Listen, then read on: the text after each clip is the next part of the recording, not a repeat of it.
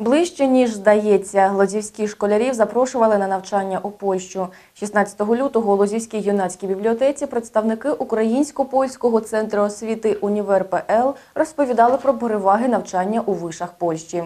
Послухати про можливості здобувати освіту у Варшаві, Любліні, Кракові чи Вроцлаві прийшли не лише старшокласники, а й їхні батьки. Чи зацікавила лоцівських учнів можливість навчання за кордоном та які спеціальності обирають українські абітурієнти у матеріалі? У куточку європейської інформації у юнацькій бібліотеці збираються школярі та їхні батьки. Вони прийшли послухати про можливості навчання у Польщі. Презентацію найкращих вузів проводить директор з розвитку Українсько-польського центру освіти Універ ПЛ Іван Капелюшник. Він говорить, зазвичай перспектива навчатися за кордоном приваблює школярів, тому вони цікавляться спеціальностями, які пропонують вузи Польщі. Реакція подобається, оскільки ми вже 9 років е, допомагаємо зі вступом студентам з України. Вже е, більше трьох е, тисяч кандидатів, до нас зверталися, отримали можливість скористатися нашими послугами. Тому е, щороку інтерес він не падає. От е, більше студентів вибирають, вже починають цікавитися там новими містами, новими вузами. Тому ми в цьому році навіть розширили нашу пропозицію серед університетів. У нас є Люблін, у нас є Варшава, у нас є Краків. А ми додали також Вроцлав, Познань і Гданськ. Щороку завдяки Українсько-польському центру освіти Універ ПЛ на навчання у польській виші виїжджають близько 300 школярів. Загалом зараз у Польщі знаходиться близько 30 тисяч студентів з України. Якщо майбутній студент має польське коріння, навчання для нього безкоштовне. Для українців також діють знижки. Студенти з України, як і жителі Польщі, отримують диплом європейського рівня та мають можливість офіційно працевлаштуватися після навчання. Зараз найчастіше студенти обирають міжнародні відносини та інформаційні технології, говорить Іван Капелюшник.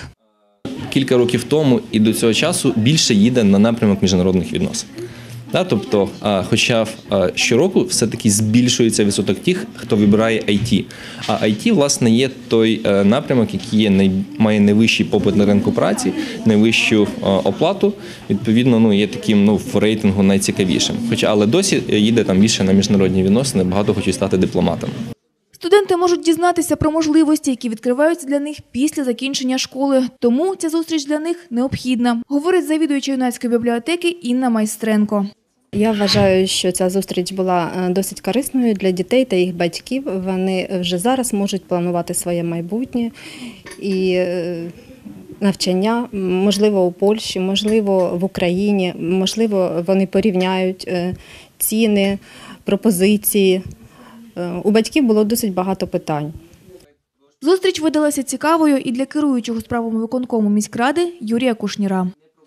Як на мене, такі заходи потрібно проводити, щоб діти мали діти, підлітки, їх батьки, е, які дітей, які збираються вступати в вищі навчальні заклади, щоб мати альтернативу, подивитися, які вузи є в Україні, які вузи за кордоном.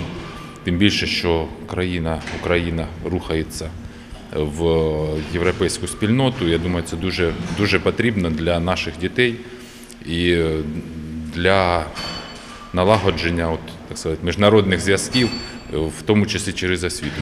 Спеціалісти Українського польського центру освіти проводять презентації для студентів з України навесні та восени.